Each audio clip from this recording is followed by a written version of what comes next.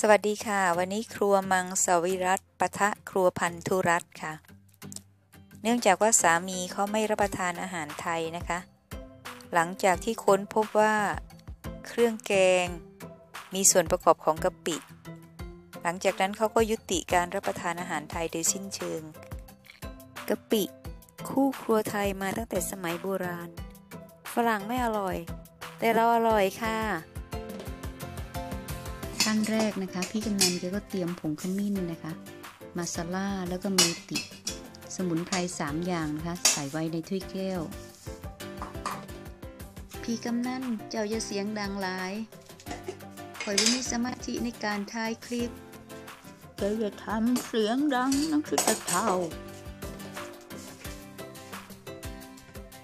หม้อตั้งเอาไว้นะคะ ซึ่งใส่น้ำมันพืชลงไปแล้วนะคะ เป็นน้ำมัน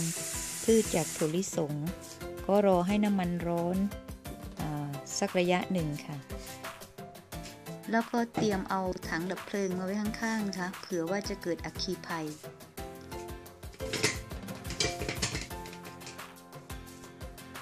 น้ำมันร้อนได้ที่แล้วนะคะ ก็ใส่ผงคูมินแล้วก็เม็ดอัญชวานลงไปนะคะ แล้วก็รอให้มี ลิ่นหอมโชยขึ้นมานะคะ เอ๊ะ แล้วจะประมาไปทำไม ไม่ได้มีใครเห็นหน้าคุณสักหน่อย โอ้ พี่กำนันนี่ก็ได้เว้ย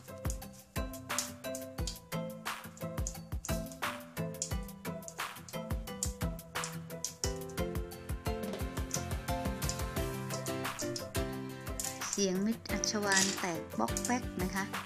ก็ใส่ถั่วลิสงลงไปกำหนึ่ง แล้วก็ คนคนคนคนคนนะคะให้เป็นสีน้ำตาลนิดนึง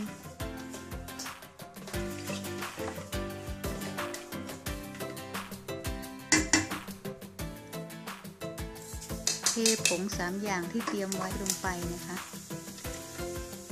ทิ้งไว้สัก 5 วินาทีค่ะคนคนคนคนให้เข้ากันนะคะ แล้วก็เลื่อนออกมาจากเตา เทฟักทองลงไปก่อนนะคะ ว่าฟักทองจะสุกยากกว่าสกินี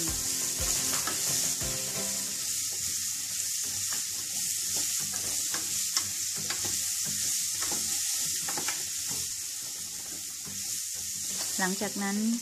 เทน้ำที่เตรียมไว้นะคะ ลงไปประมาณหนึ่งถ้วยนะคะ แล้วก็คนคนให้เข้ากัน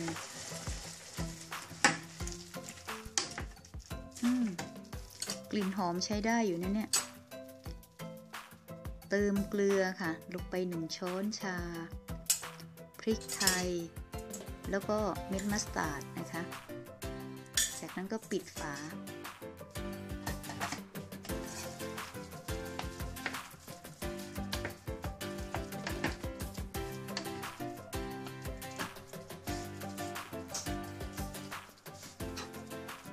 เติมซุกินีลงไปทีหลัง เพราะว่าซุกินีจะสุกง่ายกว่าฟักทอง คนคนแล้วก็คน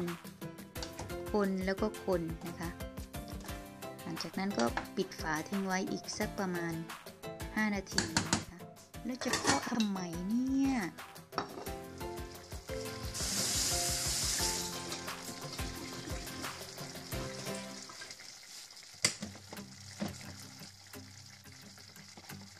เค เดือดได้ที่แล้วนะคะ ผักสุกแล้วก็ใส่ข้าวลงไป แล้วแต่จะใส่เยอะใส่น้อยแล้วแต่นะคะ แต่ว่าเขาบอกว่าวันนี้เขาไม่ไม่ใส่ข้าวเยอะ เพราะว่าผักเยอะนะคะ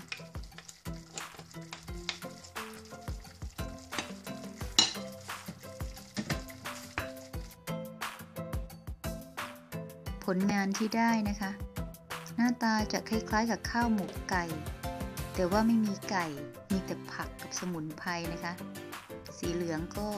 สีจากขมิ้นนะคะ กลิ่นหอมใช้ได้อยู่ค่ะ เคย เคยรับประทานกับเขาบ้างเหมือนกันในบางครั้งนะคะ เพิ่นกะว่าของเพิ่นแซ่บละเนาะค่ะ เพิ่นเฮ็ดเอง เพิ่นกินเองก็แซ่บของเพิ่นล่ะค่ะ ต่อไปก็ถึงคิวของนางพันธุรัตน์บ้างนะคะวันก่อนน้องกลับมาถึงเมืองไทยนะคะ ก็ มีของฝากมาให้หลายอย่างนะคะ อย่างละเล็กอย่างละน้อยก็เป็นน้ำใจที่น่ารักมาก ๆ เลย ก็ขอขอบคุณออกสื่ออีกครั้งนะคะหอมกระเทียมมะละกอน้ำตาลปี๊บข้าวหลามมะนาว ใบมะกรูดพริกแกงใต้นะคะปลาสลิดแล้วน้องก็ให้ปลาส้มมาสองสาชิ้นนะคะ ชิ้นใหญ่ ๆ แล้วน้องก็บอกว่า เออพี่ลอง แกงกะทิปลาส้ม ดูนะคะ กับพริกแกงใต้น้องบอกว่าอร่อยนะ ก็ไม่เคยทำค่ะ แต่ก็จะลองดูนะคะว่าจะออกมายังไงนะคะ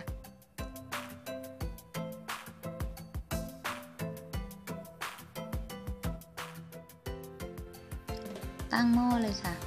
ใส่พริกแกงนิดนึงนะคะ เพราะว่ารู้ว่าเผ็ดใช้ได้เหมือนกัน ก็เลยใส่ไปประมาณ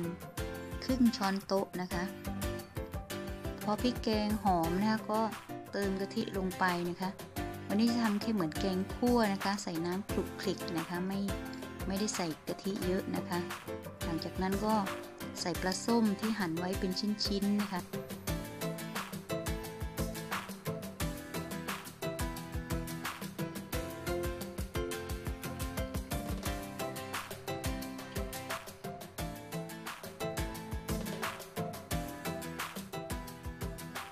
ใส่มะละกอดิบนะคะเป็นผักลงไปนิดนึงนะคะ แล้วก็หลังจากนั้นก็ปรุงรสตามชอบนะคะ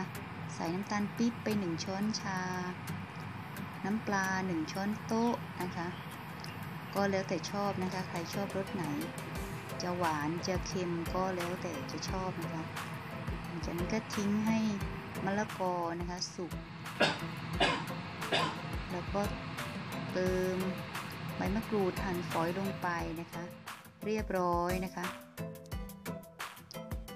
ขอบคุณที่ติดตามชมนะคะ คลิปหน้าเจอกันใหม่ค่ะ สวัสดีค่ะ